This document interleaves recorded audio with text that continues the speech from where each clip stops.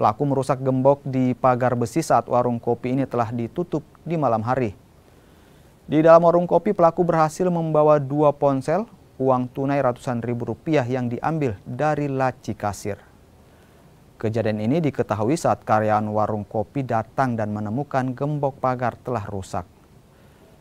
Kejadian ini pun langsung dilaporkan ke polisi. Sementara itu, polisi telah meminta keterangan sejumlah orang dan juga memeriksa hasil rekaman kamera pemantau atau CCTV. Uh, pencuri apa yang dicuri?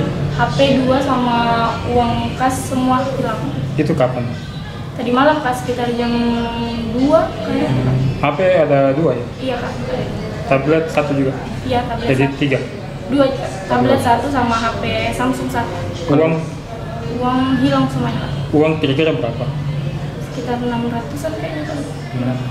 Ya, saat kejadian itu memang sudah kosong di sini atau bagaimana? Iya kak sudah closing. Sudah closing berarti tidak ada orang lagi di? Iya kak. Itu cara masuknya bagaimana? Apa dia merusak atau seperti apa? Iya, nah bobot kayak dari luar kak karena tadi pagi pas datang temanku e, gemboknya sudah rusak.